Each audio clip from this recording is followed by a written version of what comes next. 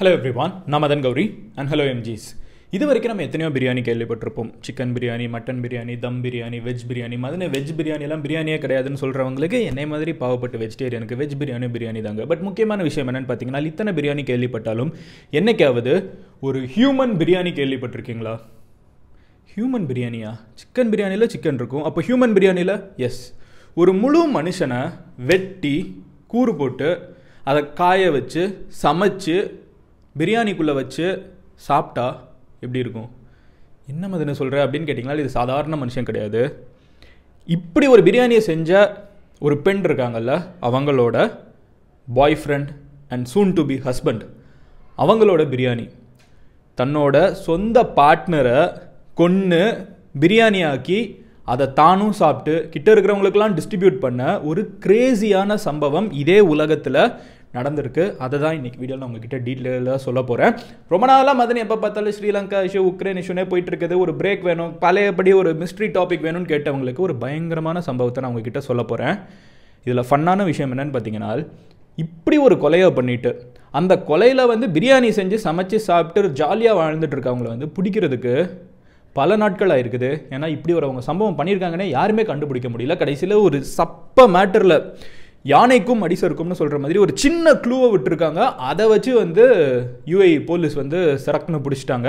இன்றைக்கி வீடியோ நம்ம டீட்டெயிலாக பார்க்க போகிறது என்னென்னு பார்த்தீங்கன்னா யூஏஇயில் அதாவது யுனைடெட் அரப் எமிரேட்ஸ் இருக்குல்ல அந்த ஏரியாவில் நடந்த சம்பவம் என்னன்னு உங்ககிட்ட ஒவ்வொன்றா சொல்ல ஆரம்பிக்கிறேன். அவங்க ஃபர்ஸ்ட் விஷயத்துலேருந்து வர ஆரம்பிப்போம். ஸோ முதல் விஷயம் என்ன அப்படின்னு பார்த்தீங்கன்னா கதை எப் எப்போ நடக்குது அப்படின்னு பார்த்தீங்கன்னா டூ தௌசண்ட் எயிட்டீனில் நடந்த சம்பவம் இது. பட் இவங்களோட கதை ஆரம்பிக்கிறது வந்து டூ தௌசண்ட் எயிட்டீனில் கிடையாது. இவங்களோட கதை ஆரம்பிக்கிறது வந்து அதுலேருந்து ஒரு பத்து வருஷத்துக்கு முன்னாடி. மொரோக்காவிலேருந்து இருந்து ரெண்டு பேர் மொரோக்கோ அப்படிங்கிற ஒரு கண்ட்ரி நீங்கள் கேள்விப்பட்டிருப்பீங்க. ஆஃப்ரிக்காவில் வந்து நார்த்தன் பார்ட்டில் இருக்குது. ஸோ அங்கேருந்து பல பேர் வந்து மிடில் ஈஸ்ட்டில் வேலைக்கு எப்படி நம்ம ஊர்லேருந்து நிறைய பேர் வந்து மிடில் ஈஸ்ட்டுக்கு வேலைக்கு போகிறாங்களோ அந்த மாதிரி மொரோக்காவிலேருந்தும் இருந்தும் மிடில் ஈஸ்ட்டுக்கு வேலை போகிறதுங்கிறது வந்து ரொம்ப சாதாரணமான விஷயமான ஒரு உண்டு. ஸோ அங்கேருந்து வந்து ஒரு ரெண்டு பேர் மொரோக்கோவுக்கு மொரோக்காவிலேருந்து கிளம்பி துபாய் வேலை தேடி கிளம்பி போகிறாங்க போகிற இடத்துல என்ன நடக்குது அப்படின்னு பார்த்தீங்கன்னா இல்லை அங்கே இவங்க ரெண்டு பேரும் வந்து மீட் பண்ணுறாங்க இங்கேருந்து கிளம்புறப்ப மீட் பண்ணலாம் அங்கே போனதுக்கப்புறம் மீட் பண்ணுறாங்க ஒரு பாய் அண்ட் ஒரு கேர்ள் ஓகேவா அந்த பையன் வந்து அந்த பொண்ணை விட சின்ன பையனாக இருந்தாலும் அவங்களுக்குள்ளே வந்து பார்த்த உடனே ஒரு லவ் ப்ளூம் ஆகுது. அண்ட் அந்த பொண்ணு வந்து ஸ்டார்டிங்கில் அந்த பையனோட அட்வான்சஸ் எல்லாத்தையும் வேணாம் ப்ரொப்போசல்லாம் வேணாம். எனக்கு இதிலலாம் இன்ட்ரெஸ்ட் இல்லை அப்படின்னு சொல்லிட்டு இருக்காங்க. பட் ஸ்டில் அந்த பையன் வந்து ரொம்பவே பெர்சிஸ்டண்ட்டாக இருக்கிறதுனால அதுக்கப்புறம் அவங்க ரெண்டு பேரும் ஒரு ரிலேஷன்ஷிப்பில் என்ட்ராகிறாங்க ஆகுறாங்க. ஸ்டார்டிங்கில் எல்லாமே சூப்பராக போயிட்டு இருக்குது. பட் அதிக அளவுக்கு அதிகமான லவ் இருக்கிற காரணத்தினால அவங்க ரெண்டு பேரும் டிசைட் பண்ணுற விஷயம் என்னன்னு பார்த்தீங்கன்னா லிவ் இன் டுகெதராக இருக்கலாம் அப்படின்னு சொல்லி முடிவு பண்ணுறாங்க ஏழு வருஷம் ஒன்றா வாழ்கிறாங்க ஓகேவா ஸோ அந்த பேசிக்காக அந்த பையனும் பொண்ணு வந்து ஹஸ்பண்ட் அண்ட் ஒய்ஃப் மாதிரியே வந்து ஒன்றா வாழ்ந்துட்டு இருக்காங்க. இப்படி வாழ்ந்துட்டு இருக்கிற காலகட்டத்தில் அந்த பொண்ணுக்கு ஒரு முப்பது வயசு ஆனதுக்கப்புறம் என்ன நடக்குது அப்படின்னு பார்த்தீங்கன்னா அந்த பையன் வந்து அந்த பொண்ணுக்கிட்ட ஒரு விஷயம் சொல்கிறான் எல்லாம் சரி. ஆனால் வந்து எனக்கு இன்னொரு ஒரு பொண்ணை வந்து கல்யாணம் பண்ணிக்கணும்னு தோணுது. அது எங்கள் அப்பா அம்மாவே வந்து எங்கள் ஊரில் பார்த்து வச்சுருக்காங்க. மொரோக்கோவில் பார்த்து வச்சுருக்காங்க. நான் அந்த பொண்ணை தான் கல்யாணம் பண்ண போகிறேன் அப்படின்னு சொல்லிட்டு இந்த பையன் இந்த பொண்ணுக்கிட்ட சொல்கிறான் இவங்க வந்து கல்யாணம் பண்ண போகிறதா சொல்லி தான் வந்து அவங்க ரெண்டு பேரும் ரிலேஷன்ஷிப்லேயே இருந்திருக்காங்க. ஏழு வருஷம் அந்த பையன் வந்து அந்த பொண்ணுக்கிட்ட நான் உன்னே தான் கல்யாணம் பண்ணிக்க போகிறேன்னு சொல்லி ப்ராமிஸ் பண்ணி ஒன்றா வாழ்ந்திருக்காங்க. ஆனால் கடைசி நிமிஷத்தில் இந்த பொண்ணுக்கு ஒரு முப்பது வயசு கிட்ட ஆனதுக்கப்புறம் இந்த பையன் வந்து கழட்டி விட்றதுக்கு ஒரு லூப் ஹோல் கண்டுபிடிச்சி இல்லை இல்லை எங்கள் வீட்டில் வந்து ஒரு பொண்ணாக பார்த்துட்டாங்க அவங்கள தான் நான் கல்யாணம் பண்ண போகிறேன்னு சொன்ன உடனே இந்த பொண்ணு என்ன பண்ணுது? அப்படின்னு பார்த்தீங்கன்னா ஓ இவ்வளோ நாள் வந்து நீ என்கிட்ட இதெல்லாத்தையும் சொல்லாமல் என்னை தான் கல்யாணம் பண்ணிக்க போகிறேன்னு பொய் சத்தியம் பண்ணி என் கூட இருந்துக்கிட்டு இப்போ சான்ஸ் கிடச்ச உடனே நீ கழட்டி விட்டுட்டு இன்னொரு பின்னாடி போகலான்னு பார்க்குறியான்னு சொல்லிட்டு பயங்கரமான ஃபைட் நடந்திருக்கு. ஆனால் அந்த பையன் வந்து தன்னோட டெசிஷனில் ரொம்பவே ஸ்ட்ராங்காக இருந்திருக்கான். நான் கண்டிப்பாக அதை மாற்றவே முடியாது அப்படிங்கிற ஒரு டிசிஷன் இருந்திருக்கான். அந்த பொண்ணு என்ன பண்ணியிருக்கா அப்படின்னு பார்த்தீங்கன்னா ஓ அப்படியாப்பா சூப்பர் அப்படின்னு சொல்லிட்டு எப்படி கொலை பண்ணப்பட்டிருக்கான் அப்படின்னு தெரியல. ஏன்னா வந்து போலீஸ் அந்த டீட்டெயில்ஸை வெளியே கொடுக்கல. பட் ஃபைனலி இந்த பொண்ணு இருந்துக்கிட்டு இந்த பையனை எப்படியோ கொலை பண்ணிட்டாங்க. எப்படிங்கிற டீட்டெயில்ஸ் வந்து எந்த மீடியா ஹவுஸ்லையும் பார்க்க முடியல. பட் கொலை பண்ணி முடிச்சிட்டா. கொன்னதுக்கப்புறம் என்ன நடக்குது அப்படின்னு பார்த்தீங்கன்னா இந்த பையனோட உடல் இருக்குல்ல. இந்த பொண்ணுக்கு வந்து காண்டு. என்ன ஏமாத்திரியா அப்படிங்கிற ஒரு ஒரு வேகத்தில் ஒரு க்ரைம் ஆஃப் பேஷன் அப்படின்னு சொல்லுவாங்க. ஸோ இந்த ஒரு எப்போவுமே வந்து கொலை பண்ணுறப்போ ஒருத்தன் வந்து குத்திட்டு போயிட்டு கிளம்பிட்டே இருப்பான். எஸ்பெஷலி நம்ம ஒரு எமோஷ்னலாக கொலை பண்ணுற ஒருத்தங்க வந்து ரொம்ப நிதானமாக பொறுமையாக கொலை பண்ணுவாங்க. ஏன்னா அவங்களுக்கு வந்து ஒரு பழி வாங்குறதுக்கு அது ஒரு மோட் ஆஃப் ரிவெஞ்ச் தான். ஸோ இந்த பையனை வந்து கொலை பண்ணுறாங்க கொண்டுட்டு என்ன பண்ணுறாங்க அப்படின்னு பார்த்தீங்கன்னா இந்த பாடியை டிஸ்போஸ் பண்ணும்ல. எப்படி டிஸ்போஸ் பண்ணுறதுன்னு யோசிக்கிறப்போ நம்மளுக்கே தெரியும். யூஏஇலாம் வந்து ரொம்ப ஸ்ட்ரிக்டான கண்ட்ரி நம்ம ஊரில் இருக்கிற மாதிரி எங்கேயும் போய் அவ்வளோ ஈஸியாலாம் டிஸ்போஸ் பண்ண முடியாது. அண்ட் ரொம்ப காம்ப்ளிகேட்டடான ஒரு விஷயம். ஸோ இந்த பொண்ணு என்ன பண்ணுறா அப்படின்னு பார்த்தீங்கன்னா உடம்ப ஃபுல்லாக துண்டு துண்டு துண்டாக வெட்டுறா. வெட்டி முடிச்சுட்டு உடம்பு அவ்வளோ சதை இருக்குது. எதை எதை பாத்ரூமில் டாய்லெட்லலாம் அனுப்ப முடியுமா? அனுப்பிச்சாச்சு. மீதியுமே அவ்வளோ மசில் இருக்குது அவ்வளோ உடம்பு. யோசிச்சு பாருங்கள் யோசிக்கிறதுக்கே வந்து கொடூரமாக இருக்குது. பட் மொத்த பாடியும் வந்து சாப் பண்ணி வச்சதுக்கப்புறம் சமைக்க ஆரம்பிக்கிறார். அந்த பொண்ணோட பிரெயின் எப்படி வேலை செய்து பாருங்கள் பிரியாணி சமைக்கிறோம் அப்படின்னு சொல்லிட்டு ஒரு மேசிவான அண்டாவில் இந்த தன்னோட சொந்த பாய் ஃப்ரெண்டோட இல்லை ஃபியூ டு பி ஹஸ்பண்டோட மசில்ஸ் எல்லாத்தையும் உள்ளுக்குள்ளே போட்டு ஒரு பெரிய பிரியாணி அண்டா வச்சு நல்லா கிண்டி முடிச்சு பிரியாணி சமைச்சிட்றா. பிரியாணியாக சமைச்சதுக்கப்புறம் அவ்வளோ பிரியாணி எப்படி ஒருத்தங்க சாப்பிட முடியும்? ஸோ என்ன பண்ணுறா அப்படின்னு பார்த்தீங்கன்னா கிட்ட வந்து நிறைய பாகிஸ்தானி லேபரர்ஸ் வந்து ஒர்க் பண்ணிட்டுருக்காங்க. அண்ட் அவங்க வந்து அங்கேயே பல வருஷமாக ஸ்டே பண்ணிட்டுருக்காங்க. இவங்க எல்லாமே வந்து ஒரே அப்பார்ட்மெண்ட்ஸில் இருக்கிறதுனால இவங்களுக்குலாம் தெரியும். அங்கே வந்து ஒரு பத்து பதினஞ்சு பேர் இருக்காங்க.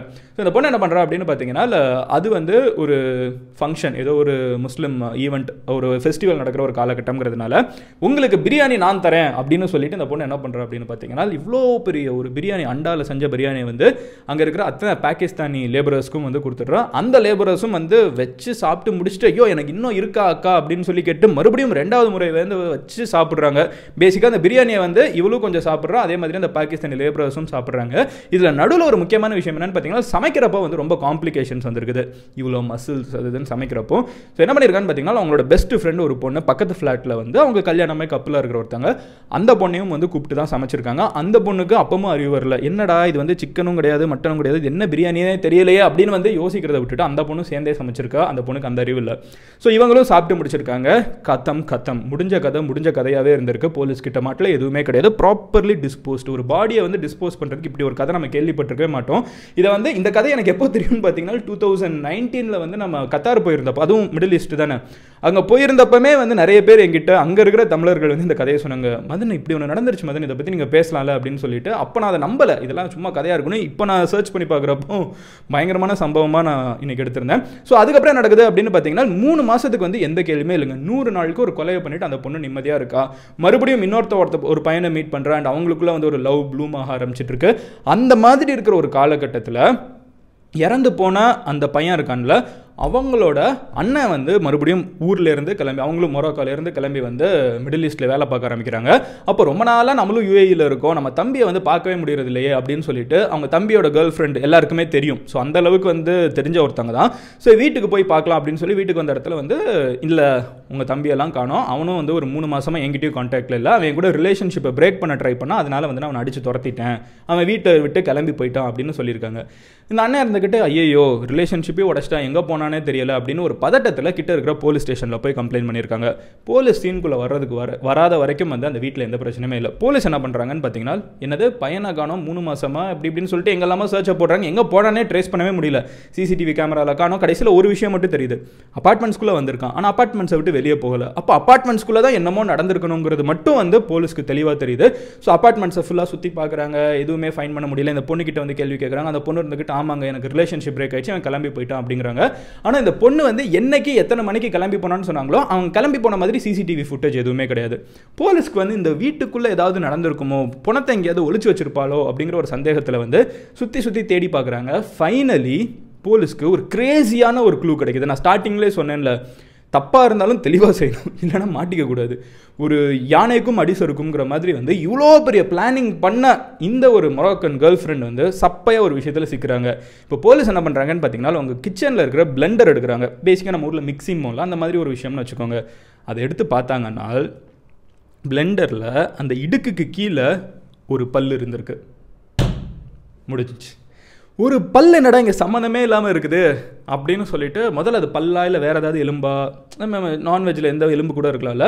என்னன்னு தெரியலையே எதுக்கும் இது என்னன்னு செக் பண்ணுவோம் அப்படின்னு சொல்லிட்டு இந்த பல்லை வந்து டிஎன்ஏ டெஸ்ட்டுக்கு அனுப்புகிறாங்க ஹியூமன் மேல் அதே வயசு கிட்டத்தட்ட ஒரு இருபத்தி அஞ்சு வயசு இருபத்தாறு வயசு அப்படிங்கிறது எல்லாமே தெரியுது. இது எல்லாமே தெரிஞ்ச உடனே போலீஸ் இருந்துக்கிட்டு இந்த அண்ணன் மூலியமாக அந்த அந்த பையனோட டிஎன்ஏக்கு வந்து ஏதாவது முடியோட சாம்பிள் கோம்பில் இருக்கிறத வாட் எவர் இட் இஸ் ஏதாவது ஒரு டிஎன்ஏக்கு வந்து மேட்ச் பண்ணி பார்க்கணும் அப்படின்னு சொல்கிறப்போ ரெண்டுமே மேட்ச் ஆகுது. இந்த பொண்ணை பிடிக்கிறாங்க. பிடிச்சிட்டு இன்னமா பிரச்சனை? அவன் எப்படி அவனோட பல்லு வந்து அவன் பிளண்டரில் இருக்குன்னு சொன்னால் ஸ்டார்டிங்கில் இந்த பொண்ணு இருந்துக்கிட்டு எனக்கு இதுக்கு சம்மந்தமே இல்லை சார். எனக்கு தெரியல அவன் ஊரை விட்டு கிளம்பிட்டு அவன் பல்லு ஏதாவது பிளண்டருக்குள்ளே விழுந்திருக்கும்லாம் சொல்லி சமாளிச்சிருக்கு. பட் துபாய் போலீஸ் அவங்க ட்ரீட்மெண்ட் எல்லாம் காமிக்க ஆரம்பிச்சதுக்கப்புறம் ஃபைனலி அந்த பொண்ணு ஒத்துருக்கு. ஆமாம் இந்த மாதிரி வந்து அவன் கூட ஏழு வருஷம் வாழ்ந்துட்டு இன்னொரு ஒரு பொண்ணை கல்யாணம் பண்ணணும்னு சொன்னப்போ நான் கடுப்பில் வந்து இப்படி பண்ணிட்டேன் அப்படின்னு சொல்லியிருக்காங்க. அண்ட் ஃபைனலி அந்த பொண்ணு வந்து இதனால ஜெயிலுக்கும் போயிருக்காங்க. இப்படி ஒரு சம்பவம் வந்து யூஏயில் நடந்திருக்குன்னு யோசிக்கிறதுக்கே க்ரேஸியாக இருந்துச்சு. இருந்தாலும் இந்த வீடியோ முடிகிறப்போ ஒரு பயங்கரமான மிஸ்ட்ரி டாபிக் தானே இப்படி ஒரு சம்பவம் நடக்குமான்னு யோசிக்கிற மாதிரி இருக்கல இருந்தாலும் இந்த வீடியோ முடிகிறப்போ நான் உங்ககிட்ட கேட்கணும்னு நினைக்கிற கேள்வி என்ன அப்படின்னு பார்த்தீங்கன்னா இந்த பொண்ணு வந்து கொஞ்சம் சைக்காட்டிக்காக தான் யோசிக்க சொல்கிறேன் இருந்தாலும் நான் கேட்குறேன். இந்த பொண்ணு வந்து அந்த ஒரு தடயமும் இல்லைனால் சப்போஸ் அந்த பல்லும் இல்லைனா இப்படி ஒரு நடந்திருக்குனே வந்து உலகத்தில் தெரியாமலே போயிருக்கும்ல. யோசிச்சு பாருங்களேன். எத்தனை பேர் வீட்டில் வந்து யாராவது ஒருத்தங்க இறந்தாங்கன்னா இந்த மாதிரிலாம் நம்ம எத்தனை பேரோட இதை சாப்பிட்ருக்கோம்லாம் யோசிக்க தோணுது. But anyway crazy things apart உங்ககிட்ட கேட்கணும்னு நினைக்கிற கேள்வி என்னன்னு பார்த்தீங்கன்னா இந்த பொண்ணு வந்து இந்த பல்லு மாற்று மட்டும் இல்லைனா இந்த பொண்ணுனால இந்த கேஸ்லேருந்து தப்பிச்சிருக்க முடியும்னு நினைக்கிறீங்களா? இல்லை வேற எங்கேயாவது கண்டிப்பாக மாட்டியிருப்பாங்கன்னு நினைக்கிறீங்களா? உங்களோட ஒப்பீனியன் என்னங்கிறத கமெண்ட்டில் லீவ் பண்ணுங்கள் அண்ட் இருக்கிறதுலே முக்கியமான விஷயம் நீங்கள் கல்யாணமான ஹஸ்பண்ட் இல்லை ஒய்ஃபாக இருந்தீங்கன்னா இந்த மாதிரி ஏதாவது விஷயத்த சொல்கிறதுக்கு முன்னாடி கொஞ்சம் தள்ளி ஒரு டென் மீட்டர்ஸ் டுவெண்ட்டி மீட்டர்ஸ் தள்ளி இருந்துக்கிட்டு சொல்லிட்டு அப்படியே ஓடி போயிடுங்க. இல்லைனா யார் பிளேட்டில் பிரியாணி ஆகும்னு தெரியாது. லவ் யூ ஆல் சேர்ஸ் அவர் டேக்கர் பாய் சேர்ஸ்